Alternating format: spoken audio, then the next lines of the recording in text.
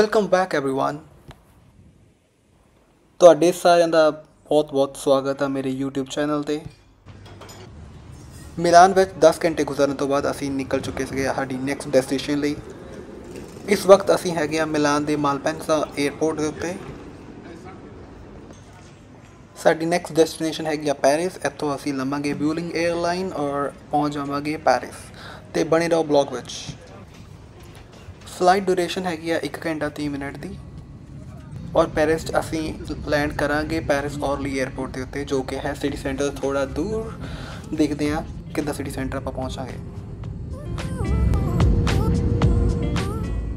ਛੋਟੇ ਜਿਹੇ ਸਫ਼ਰ ਤੋਂ ਬਾਅਦ ਅਸੀਂ ਪਹੁੰਚ ਚੁੱਕੇ ਸੀਗੇ ਪੈਰਿਸ ਦੇ ਔਰਲੀ 에ਅਰਪੋਰਟ ਦੇ ਉੱਤੇ। ਤੁਹਾਡੇ ਸਾਰਿਆਂ ਦਾ ਸਵਾਗਤ ਹੈ ਫਰਾਂਸ ਪੈਰਿਸ ਵਿੱਚ। ਔਰ ਇਹ ਮੇਰੀ ਹੈਗੀ ਆ ਸੈਕਿੰਡ ਵਿਜ਼ਿਟ ਫਰਾਂਸ ਵਿੱਚ ਲਾਸਟ ਟਾਈਮ ਵੀ ਮੈਂ ਪੈਰਿਸ ਆਇਆ ਸੀਗਾ 2022 ਵਿੱਚ 2 ਸਾਲ ਪਹਿਲਾਂ, ਤੇ ਸਫ਼ਰ ਬਹੁਤ ਹੀ ਸੋਹਣਾ ਸੀਗਾ। ਮੇਰੀ ਪਹਿਲੀ ਕੰਟਰੀ ਸੈਕਿੰਡ ਕੰਟਰੀ ਸੀ ਐਕਚੁਅਲੀ ਯੂਰਪ 'ਚ। ਤੇ ਦੇਖਦੇ ਆ ਇਹ ਟ੍ਰਿਪ ਕੀ ਕੁਝ ਲੈ ਕੇ ਆਂਦੀ ਆ ਸਾਡੇ ਸਫ਼ਰ ਨੂੰ ਸੁਹਾਵਣਾ ਬਣਾਉਣ 'ਚ। ਇੱਕ ਛੋਟਾ ਜਿਹਾ ਡਿਸਕਲੇਮਰ ਅਗਰ ਤੁਸੀਂ ਪੈਰਿਸ ਔਰਲੀ 에ਅਰਪੋਰਟ ਤੇ ਆ ਰਹੇ ਹੋ, ਤਾਂ ਤੁਸੀਂ ਪਹਿਲਾਂ ਹੀ ਆਪਣੇ ਆਪ ਨੂੰ ਪ੍ਰਪੇਅਰ ਕਰਕੇ ਆਓ, ਕਿਉਂਕਿ ਇਹ 에ਅਰਪੋਰਟ ਹੈਗਾ ਆ ਬਿਲਕੁਲ ਸਿਟੀ ਸੈਂਟਰ ਤੋਂ ਦੂਰ। ਔਰ ਅਗਰ ਤੁਹਾਡੀ ਫਲਾਈਟ ਰਾਤ ਨੂੰ ਲੈਂਡ ਹੋ ਰਹੀ ਆ, ਤਾਂ ਤੁਹਾਨੂੰ ਬਹੁਤ ਮੁਸ਼ਕਿਲ ਆ ਸਕਦੀ ਆ, ਕਿਉਂਕਿ ਟ੍ਰੈਮ ਸਿਟੀ ਸੈਂਟਰ ਸਿੱਧੀ ਨਹੀਂ ਜਾਂਦੀ ਹੈਗੀ ਟ੍ਰੇਨ ਵੀ ਸਿੱਧੀ ਨਹੀਂ ਜਾਂਦੀ ਹੈਗੀ, ਤੁਹਾਨੂੰ ਤਿੰਨ ਚਾਰ ਸਟਾਪ ਲੈ ਕੇ ਜਾਣੇ ਪੈਣੇ ਆ। ਤੁਸੀਂ ਦੇਖ ਸਕਦੇ ਹੋ, ਅਸੀਂ ਇਸ ਟ੍ਰਿਪ ਵਿੱਚ ਵੀ ਬੋਰਡ ਕਰਾ ਕੇ ਗਏ ਫੇ ਔਰ ਅਗਰ ਤੁਸੀਂ ਪੈਰਿਸ ਸਿਟੀ ਸੈਂਟਰ ਪਹੁੰਚਣਾ ਚਾਹੁੰਦੇ ਹੋ ਲੋਕਲ ਟਰਾਂਸਪੋਰਟ ਪਬਲਿਕ ਟਰਾਂਸਪੋਰਟ ਦੇ ਥਰੂ ਤਾਂ ਤੁਹਾਨੂੰ ਲੱਗ ਸਕਦੇ ਆ ਡੇਢ ਤੋਂ 2 ਘੰਟੇ।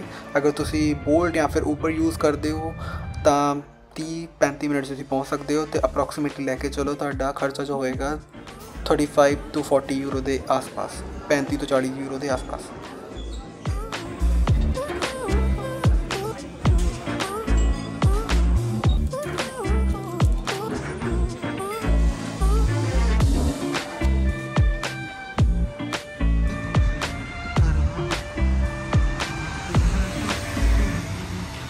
हुसा तुमसे ही तुमसे हर बार हर बार तेरे चपेड़ा पैना पड़ी तेरे It's 8:30 in the morning. First day in Paris. Last night we reached a bit late. And yeah, we were looking forward to that, right? it's snowing here. Weather is almost like 10 10 degrees celsius. A bit drizzle.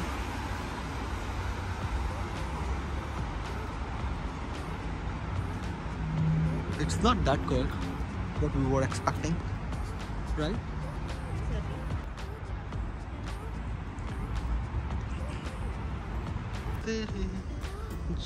तन्हा तू नहीं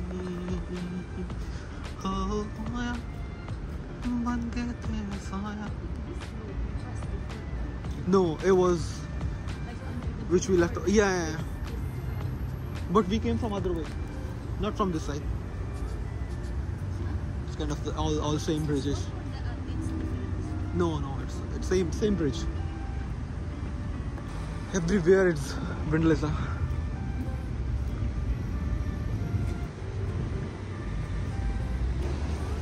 Still vandalism everywhere. But this area looks a bit fun. sorry. What? This area looks fine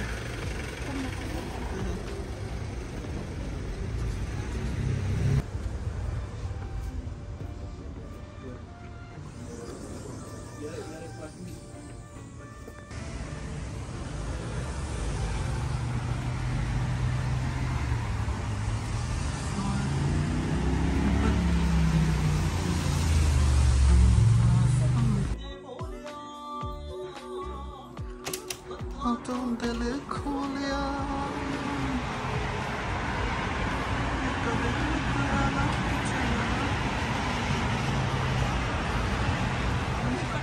ਨਾਲ ਬਾਣ ਮਾਰ ਬਹਿ ਗਈ ਉਹਦੇ ਤੋਂ